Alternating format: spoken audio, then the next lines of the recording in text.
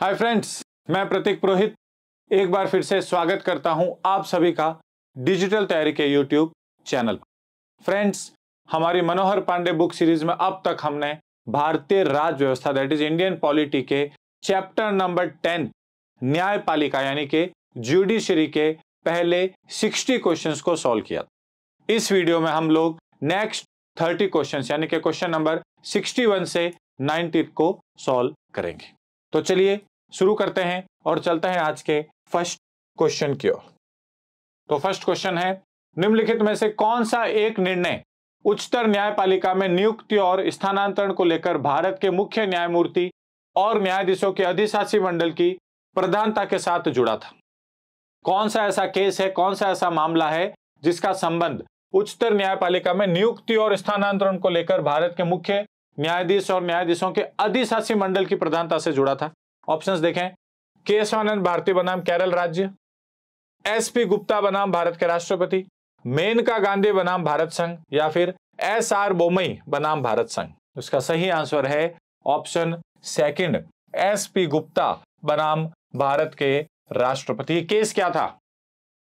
कि भारत सरकार के पास जो सूची आई थी न्यायाधीशों को नियुक्त करने की सुप्रीम कोर्ट के उसमें से दो न्यायाधीशों को भारत सरकार ने नियुक्ति नहीं दी अपॉइंट नहीं किया।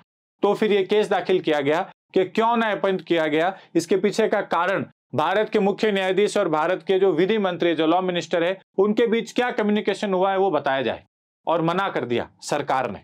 इसीलिए ये केस किया गया और अल्टीमेटली एसपी गुप्ता जी जो है, वो इस केस को जीत गए। तो ऑप्शन बी इसका बिल्कुल सही आंसर है। नेक्स्ट भारत में न्यायिक सक्रियता संबंधित है। न्यायिक सक्रियता का इंग्लिश मतलब होता है जुडिशियल एक्टिविज्म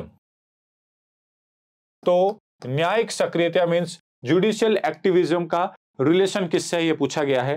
पहला ऑप्शन है, प्रतिबद्ध न्यायपालिका से, जनहित याचिका से, न्यायिक पुनर्वालोकन से या फिर न्यायिक स्वतंत्रता से।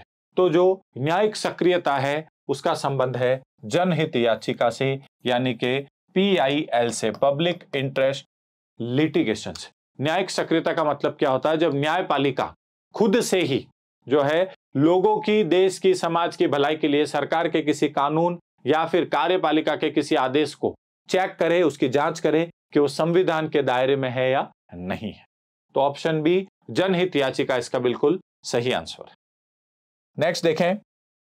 भारतीय संविधान में न्यायिक पुनर्वालोकन का आधार है, जो न्यायिक पुनर्वालोकन है, जिसे कहा जाता है जुडिशियल रिव्यू उसका आधार क्या है यह पूछा गया है। ऑप्शंस देखें, वैदिक प्रक्रिया, विधि द्वारा स्थापित प्रक्रिया, विधि का शासन, या फिर दृष्टांत और अभिसमय। सबसे पहले समझना होगा, न्यायिक पुनर्वालोकन होता क्या है जुडिशियल रिव्यू क्या होता है। तो यह हमारे न्यायपालिका की वह शक्ति है, जिसके तहत वो भारत के या किसी भी राज्य के किसी भी कानून की जाँच कर सकते हैं, या फिर कार्यपालिका के किसी आदेश की जाँच कर सकते हैं कि वो संविधान के दायरे के अंतर्गत है या नहीं है। और यदि वह संविधान के दायरे से बाहर हो, संविधान का उल्लंघन कर रहे हो तो उन आदेशों को, ऐसे कानूनों को निरस्त, यानी कि नल एंड वॉइड भी डिक्लेयर करने की शक्ति है न्यायपालिका के पास। तो ये जो शक्ति है, इसी को न्यायिक पुनर्वालोकन या जुडिशियल रिव्यू कहा जाता है। इसका आधार क्या है, इसका बेस क्या है, पूछा गया है। तो सही आंसर होगा ऑप्शन सी विधि का शासन। विधि का शासन का मतलब होता है रूल ऑफ़ लॉ देश में सबसे ऊपर क्या है? लॉ है। और ये लॉ कहाँ पे मेंशन है? कॉन्स्टिट्यूशन में संविधान। नेक्स्ट देखें। भारतीय संविधान का संरक्षक किसे कहा गया है? प्रोटेक्टर ऑफ़ इंडियन कॉन्स्टिट्यूशन देश में जो कुछ भी होगा, वो संविधान के तहत होगा कॉन्स्टिट्यूशन की लिमिट्स के अंडर होगा। ये इसको कौन निश्चित करता है? क्वेश्चन है। संसद, राष्ट्रपति सर्वोच्च न्यायालय या फिर नन ऑफ़ दी अबव तो संविधान का संरक्षक सर्वोच्च न्यायालय को कहा गया है, सुप्रीम कोर्ट को कहा गया। नेक्स्ट देखें, निम्नलिखित में से कौन भारत के संविधान का अभिरक्षक है? अभिरक्षक का मतलब है कस्टोडियन तो एक तरीके से पिछले क्वेश्चन के जैसा ही है, बस वर्ड अलग है, वहाँ पे संरक्षक कहा गया था, यहाँ पे अभिरक्षक कहा गया है।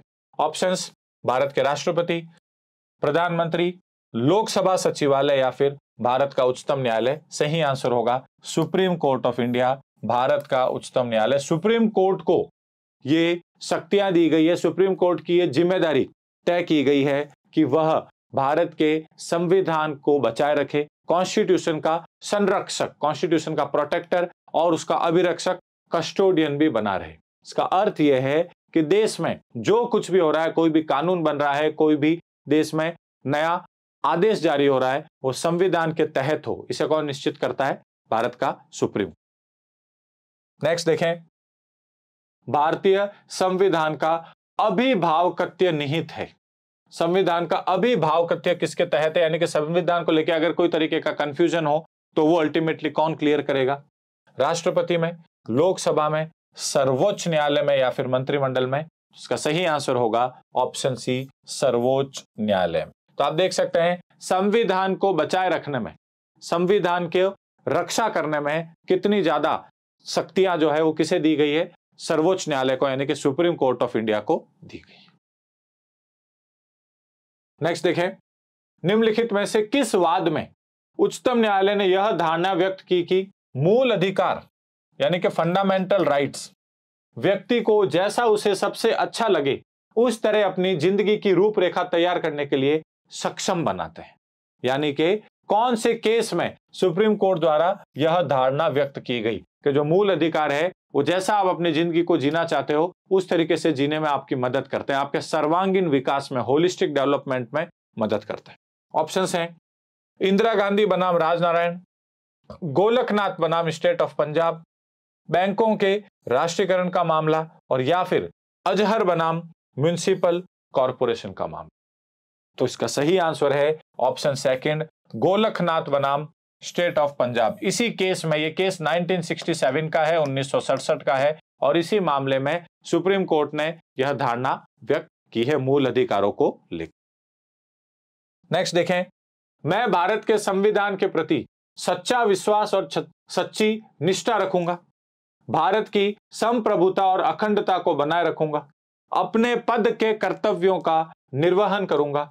संविधान और कानून की रक्षा करूँगा। यह शपथ ली जाती है। शपथ का इंग्लिश में मतलब होता है ओथ तो वो कौन सा पदाधिकारी है? वो कौन सा ऑफिशियल है? इंडिया का कॉन्स्टिट्यूशनल ऑफिसर है जो अपनी शपथ में ये सारी शपथ को बोलता है, यानी कि संविधान के प्रति सच्चा विश्वास और सच्ची निष्ठा, भारत की संप्रभुता और अखंडता को बनाए रखना, अपने कर्तव्यों का निर्वाहन करना और संविधान और कानून की रक्षा करना। यह शपथ कौन लेता है? ऑप्शन है, भारत के राष्ट्रपति, भारत के मुख्य न्यायाधीश, संसद के सदस्य या फिर राज्यपाल। तो ये जो शपथ है, ये शपथ ली जाती है भारत के मुख्य न्यायाधीश द्वारा, यानी कि चीफ जस्टिस ऑफ़ इंडिया द्वारा, जिसे हम सर्वोच्च न्यायालय का मुख्य न्यायाधीश भी कहते हैं। Chief justice of supreme court भी भारत के चीफ जस्टिस को ही कहा जाता है। नेक्स्ट देखें। निम्नलिखित में से कौन से मामले उच्च न्यायालय और उच्चतम न्यायालय की अधिकारिता में आते हैं। कौन सा ऐसा मामला है, कौन सा ऐसा केस है, जो उच्च न्यायालय, यानी कि हाई कोर्ट्स और उच्चतम न्यायालय, यानी कि सुप्रीम कोर्ट के जुरिस्डिक्शन में अधिकारिता क्षेत्र में आते हैं। केंद्र एवं राज्यों के बीच विवाद, ये केवल और केवल किसके बीच जाएगा? सुप्रीम कोर्ट के पास जाएगा।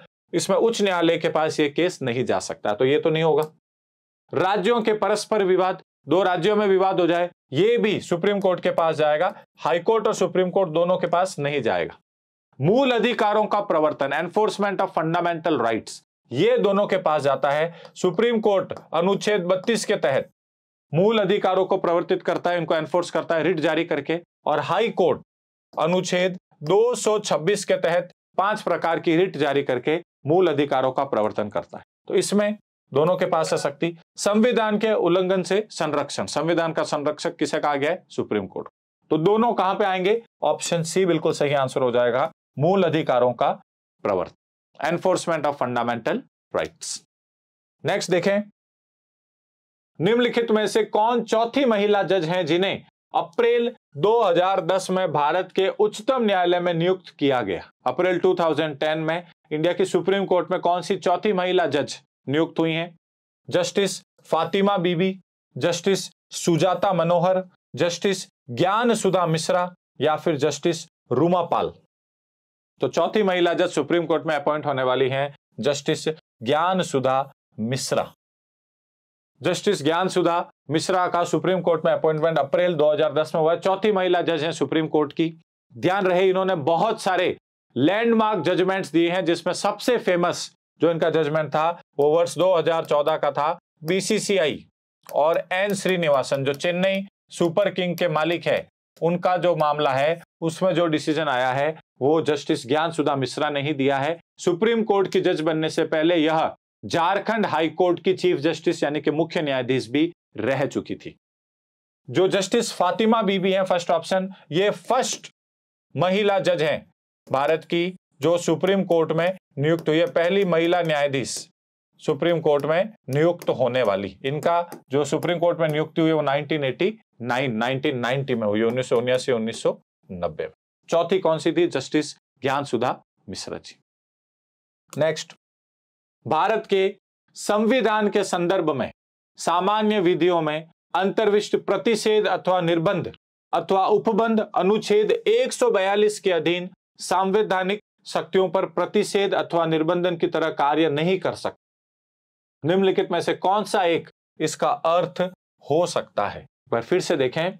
संविधान के संदर्भ में सामान्य विधियों में अंतर्विष्ट प्रतिषेध, यानी कि किसी चीज़ को बैन करना, रोकना, अथवा निर्बंध, अथवा उपबंध, अनुच्छेद 142 के अधीन संवैधानिक शक्तियों पर प्रतिषेध या निर्बंध की तरह कार्य नहीं कर सकते। वो कौन सा एक इसका अर्थ हो सकता है?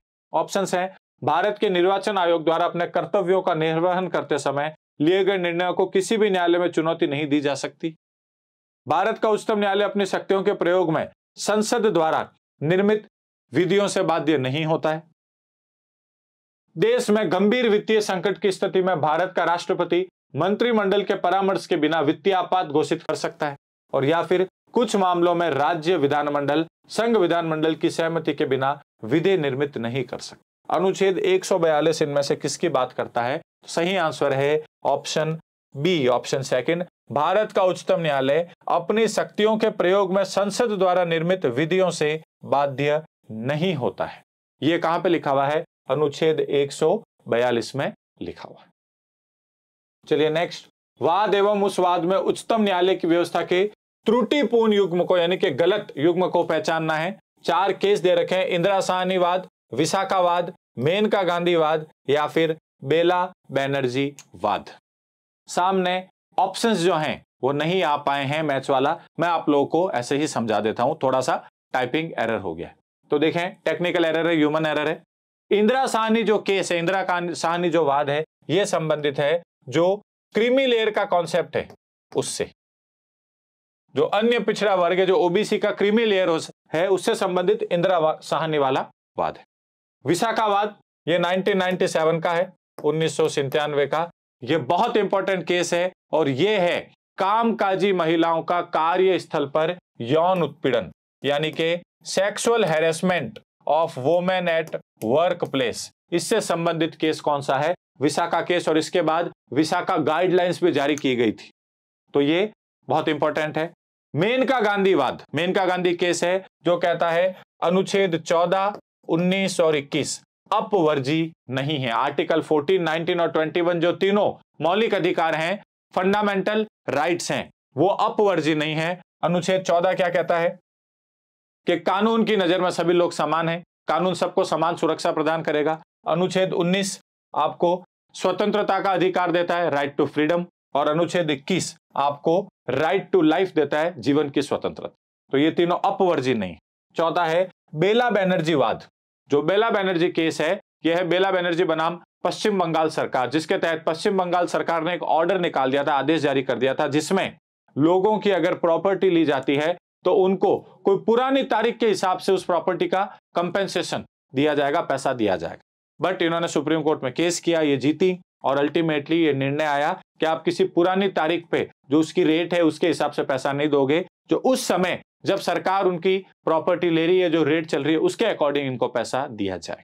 तो सामने नहीं आ पाया था। वैसे बुक में जब आप देखोगे तो गलत आंसर इसका जो गलत पेयरिंग है, वो ऑप्शन फोर्थ होगा। सही आंसर ऑप्शन फोर्थ में जो बुक में दे रखा है, वो नेक्स्ट देखें। वापिस सूची एक और सूची दो है। हमको मैच करना यहाँ पे ऑफिसर्स दे रखे हैं और यहाँ पे उनकी शपथ के बारे में दे रखा है। कौन किसकी शपथ लेता है, हमको क्या करना है? सही मैच करना है। तो राष्ट्रपति, सर्वोच्च न्यायालय के जज, संसद सदस्य और संघ के मंत्री। चार हैं और सामने इनकी शपथ है।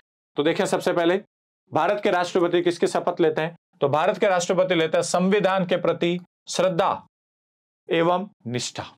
तो ये कौन सा हो जाएगा? ए के आगे आ जाएगा थ्री। नेक्स्ट, सर्वोच्च न्यायालय के न्यायाधीश, ये किसकी शपथ लेते हैं? तो ये लेते हैं संविधान और विधि की मर्यादा बनाए रखना, यानी कि बी के आगे आ जाएगा फोर। नेक्स्ट है, संसद सदस्य। संसद सदस्य लेते हैं शपथ, कर्तव्यों के निष्ठापूर्वक निर्वहन की। तो सी के आगे आ जाएगा टू और लास्ट संघ के मंत्री।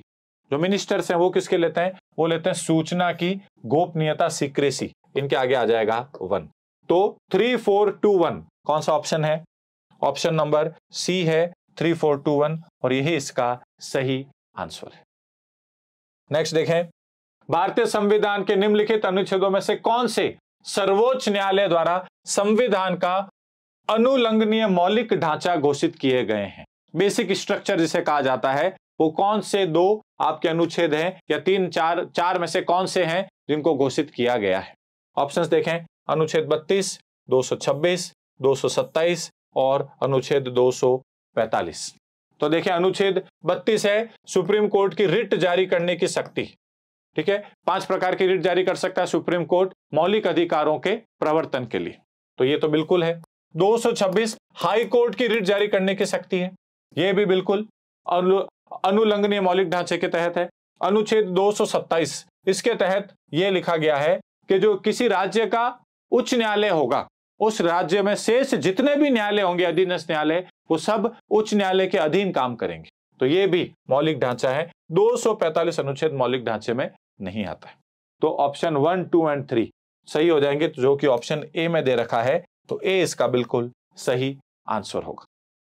चलिए नेक्स्ट निम्नलिखित कथनों पर विचार कीजिए, और हमें कौन से सही हैं? राइट स्टेटमेंट्स को चूज़ करना है। पहला है, न्यायमूर्ति वी आर कृष्ण अय्यर, भारत के मुख्य न्यायमूर्ति थे या फिर मुख्य न्यायाधीश थे, चीफ जस्टिस थे। गलत स्टेटमेंट है, चीफ जस्टिस नहीं बने थे।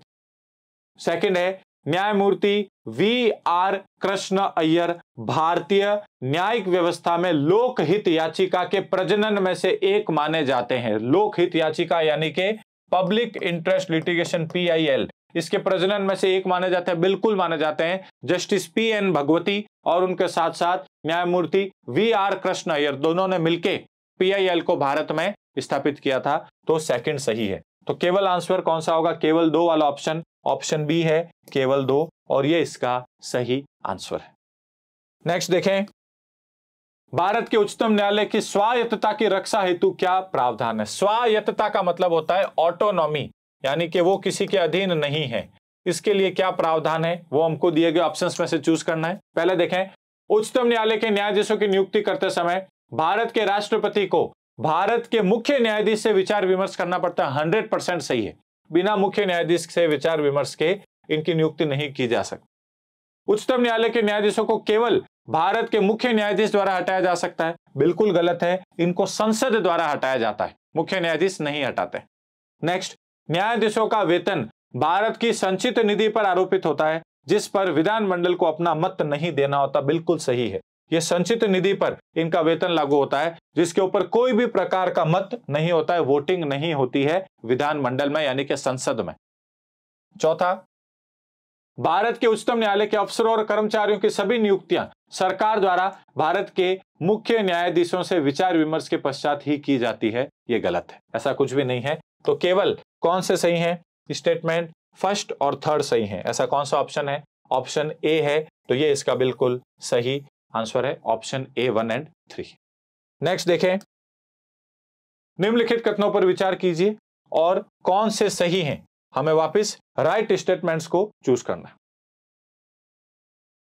संसद भारत के उच्चतम न्यायालय की अधिकारिता को विस्तारित नहीं कर सकती क्योंकि उसकी अधिकारिता वही है जो संविधान ने प्रदान की है। मतलब यह है उच्चतम न्यायालय को जो अधिकारिता दे रखी है, उसको संसद बढ़ा नहीं सकती गलत स्टेटमेंट है। ध्यान रखें, संविधान के अनुच्छेद 138 में क्लियर कट लिखा हुआ है आर्टिकल 138 में कि संसद जो है, वो सुप्रीम कोर्ट के अधिकारिता को, क्षेत्राधिकार को बढ़ा सकती है।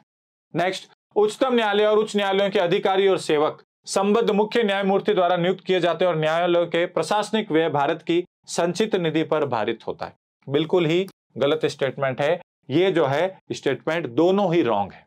तो ऑप्शंस देखें केवल एक, केवल दो, एक और दो, दोनों और ना ही एक, ना ही दो। सही स्टेटमेंट पूछा है। एक भी नहीं है तो ऑप्शन डी इसका सही आंसर हो जाएगा neither one nor two next निम्नलिखित में से कौन से उच्चतम न्यायालय की आरंभिक क्षेत्राधिकार में आते हैं, आरंभिक अधिकारिता में आते हैं? आरंभिक का मतलब होता है ओरिजिनल एंड एक्सक्लूसिव जुरिस्डिक्शन देखें, यानी कि सीधा आप सुप्रीम कोर्ट जा सकते हो किन मामलों को लेके? वो क्वेश्चन है। पहला भारत सरकार तथा एक या अधिक राज्यों के बीच का विवाद बिल्कुल जा सकते हैं, सीधा सुप्रीम कोर्ट ही जाएगा।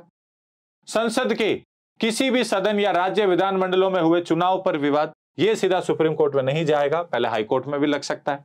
भारत सरकार तथा किसी संघ राज्य क्षेत्र के बीच विवाद, और अगला है दो या दो से अधिक राज्यों के बीच का विवाद।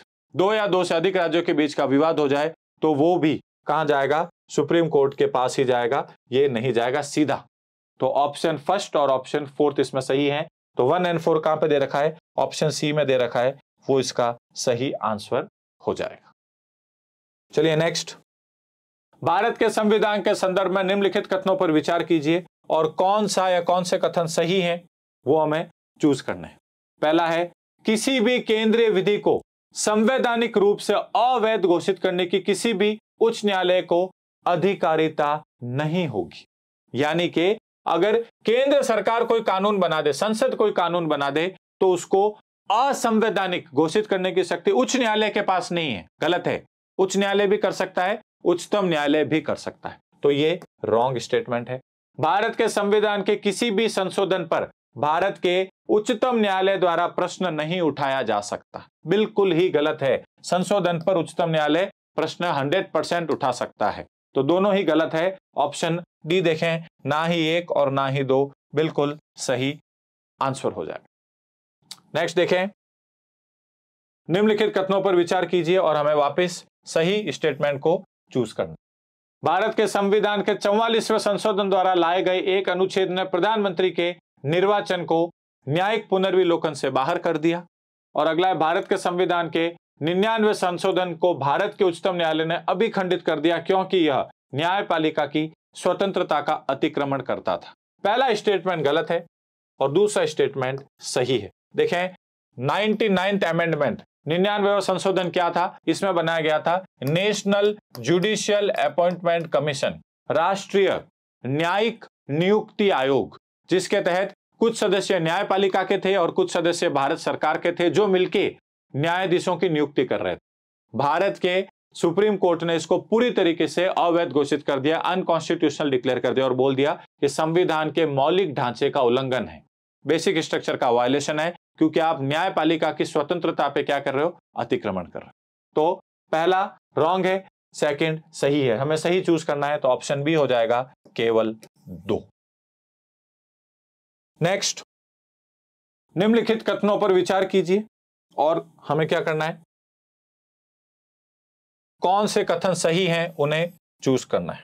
तो देखें, पहला, न्यायाधीश जाँच अधिनियम उन्नीस सौ अड़सठ के अनुसार भारत के उच्चतम न्यायालय के किसी न्यायाधीश पर महाभियोग चलाने के प्रस्ताव को लोकसभा के अध्यक्ष द्वारा अस्वीकार नहीं किया जा सकता। बिल्कुल अस्वीकार किया जा सकता है यह स्टेटमेंट गलत है।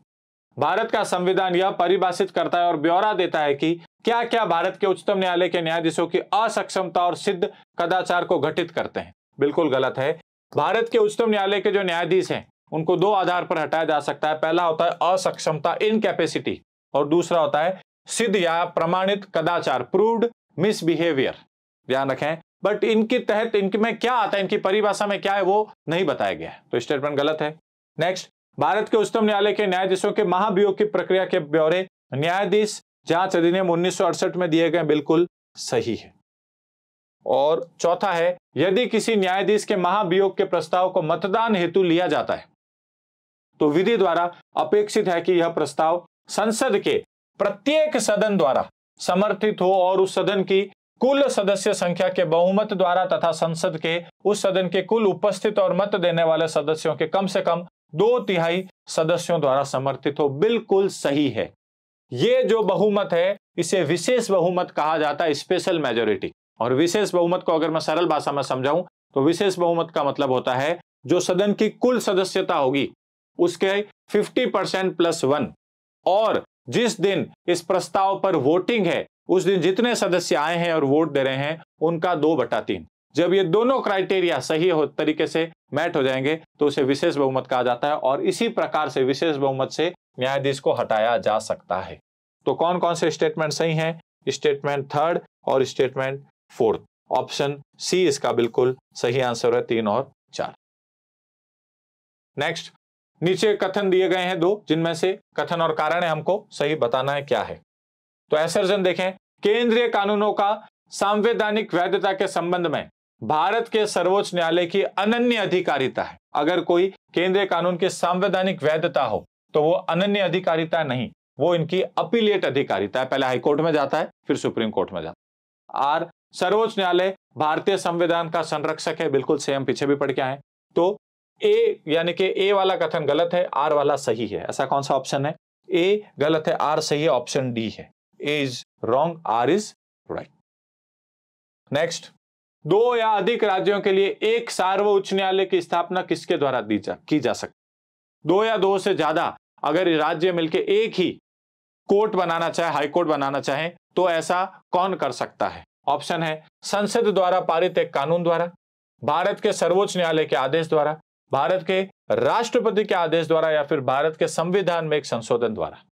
तो यह किया जा सकता है, संसद द्वारा पारित एक कानून द्वारा। और ऐसा भारत में हो भी रखा है पंजाब तथा हरियाणा, दोनों राज्यों का कॉमन हाई कोर्ट है, चंडीगढ़ हाई कोर्ट भारत में उत्तर पूर्वी काफ़ी सारे राज्यों का कॉमन हाई कोर्ट है, आसाम के गुवाहाटी हाई कोर्ट तो यह संसद एक कानून द्वारा कर सकता है।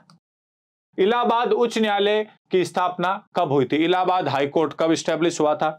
अठारह अठारह या फिर 1916 तो इलाहाबाद हाई कोर्ट की स्थापना हुई है 1866 ऑप्शन बी अठारह नेक्स्ट सबसे पहले किस उच्च न्यायालय ने घोषणा की थी कि बंद असंवैधानिक है? बंद का मतलब क्या है? जो हड़ताल वगैरह की जाती है, जो स्ट्राइक्स वगैरह होती हैं, उनको असंवैधानिक या फिर अनकॉन्स्टिट्यूशनल कौन से उच्च न्यायालय ने घोषित किया था? ऑप्शंस देखें। आंध्र प्रदेश, मध्य प्रदेश, केरल या फिर उड़ीसा। तो बंद को सबसे पहले असंवैधानिक घोषित किया है मध्य प्रदेश हाईकोर्ट ने ऑप्शन बी राइट नेक्स्ट देखें। लक्षद्वीप का उच्च न्यायालय भारत के किस राज्य में स्थित है? लक्षद्वीप, जो कि हमारा एक केंद्र शासित प्रदेश है यूनियन टेरिटरी है, और भारत का सबसे छोटा केंद्र शासित प्रदेश है स्मॉलेस्ट यूनियन टेरिटरी है इंडिया का सबसे छोटा। उसका जो उच्च न्यायालय है, वो कौन से राज्य में लगता है? तमिलनाडु, केरल, आंध्र प्रदेश या फिर कर्नाटक। तो लक्षद्वीप का हाई कोर्ट केरला, में लगता है जो केरला का हाईकोर्ट है, वो ही लक्षद्वीप का भी हाईकोर्ट नेक्स्ट देखें. निम्नलिखित में से भारत में एक उच्च न्यायालय के बारे में क्या सही नहीं है? हाई कोर्ट के बारे में हमें गलत स्टेटमेंट को बताना है। द्वितीय अपील उच्च न्यायालय के अपीलीय क्षेत्राधिकार में है। उच्च न्यायालय के प्रत्येक न्यायाधीश की नियुक्ति राष्ट्रपति करता है। उच्च न्यायालय के न्यायाधीशों की नियुक्ति राज्यपाल करते हैं और या फिर उच्च न्यायालय लोक हितवाद से संबंधित आवेदन स्वीकार कर सकता है। लोक हितवाद का मतलब होता है पीआईएल पब्लिक इंटरेस्ट लिटिगेशन लोकहित याचिका। तो गलत स्टेटमेंट कौन सा है? पहला तो बिल्कुल सही है। अपीलीय क्षेत्राधिकार में आएगा। उच्च न्यायालय के प्रत्येक न्यायाधीश की नियुक्ति राष्ट्रपति करते हैं, बिल्कुल सही है। हाई कोर्ट के जज हो, चाहे सुप्रीम कोर्ट के जज हो, नियुक्ति सबकी राष्ट्रपति ही करेंगे। तो स्टेटमेंट सेकंड से हो गया तो थर्ड अपना गलत हो गया बिकॉज़ यहाँ पर लिख रखा है, उनकी नियुक्ति राज्यपाल करते हैं, गलत है। नियुक्ति कौन करते हैं? राष्ट्रपति द्वारा की जाए। नेक्स्ट देखें। उच्च न्यायालय के मुख्य न्यायाधीश की नियुक्ति किसके द्वारा की जाती जो हाईकोर्ट का मुख्य न्यायाधीश होता है, यानी कि chief justice of high court इसका अपॉइंटमेंट इसकी नियुक्ति किसके द्वारा की जाएगी? राष्ट्रपति, सर्वोच्च न्यायालय के मुख्य न्यायाधीश द्वारा, संबंधित राज्य के राज्यपाल द्वारा या फिर प्रधानमंत्री द्वारा? तो पिछले क्वेश्चन में हमने देखा था, किसी भी उच्च न्यायालय में जितने भी न्यायाधीश होंगे, जितने भी जजेज होंगे उनकी नियुक्ति राष्ट्रपति द्वारा ही की जाएगी। तो मुख्य न्यायाधीश की भी कौन करेंगे? भारत के राष्ट्रपति ही करेंगे। उच्च न्यायालय की बात हो रही है हाईकोर्ट की। नेक्स्ट उच्च न्यायालय के न्यायाधीशों की नियुक्ति कौन करता है? अभी क्वेश्चन आया, हाईकोर्ट के जजेस को कौन अपॉइंट करता है? तो भारत के राष्ट्रपति करते हैं। और अब चलते हैं इस वीडियो के लास्ट क्वेश्चन की तरफ़ क्वेश्चन नंबर नाइनटी उच्च न्यायालय के न्यायाधीश पद पर नियुक्त होने के लिए क्या अर्हताएँ या फिर क्या योग्यताएँ होनी चाहिए। अगर किसी को हाईकोर्ट का जज बनना है तो फिर उसके लिए क्या योग्यता, क्या क्वालिफिकेशन होनी चाहिए? पहला, भारत का नागरिक हो बिल्कुल होनी चाहिए। उसने भारत क्षेत्र में कोई न्यायिक पद धारण किया हो, बिल्कुल सही, कोई ना कोई न्यायिक पद, आप जज वगैरह रहे हो तो बिल्कुल सही है। वह किसी उच्च न्यायालय का दो या दो से अधिक ऐसे न्यायालयों में अधिवक्ता रहा हो। अधिवक्ता का मतलब होता है एडवोकेट किसी भी उच्च न्यायालय में दो या दो से अधिक उच्च न्यायालयों में अधिवक्ता के पद पर रहो एडवोकेट रहो, बिल्कुल सही है। और चौथा ऑप्शन है उपरोक्त सभी। तो तीनों कंडीशन सही है तो सही आंसर हो जाएगा ऑप्शन फोर्थ उपरोक्त सभी। हाईकोर्ट के जज के लिए सारी योग्यताएँ है। तो फ्रेंड्स ये था हमारे मनोहर पांडे बुक सीरीज़ के इंडियन पॉलिटी भारतीय राज्य व्यवस्था के चैप्टर नंबर टेंथ न्यायपालिका, यानी कि जुडिशरी के क्वेश्चन नंबर 61 से question number 90 with detailed solutions धन्यवाद। थैंक यू आप सभी का हमारे साथ जुड़े रहने के लिए। Please like share subscribe digital तैयारी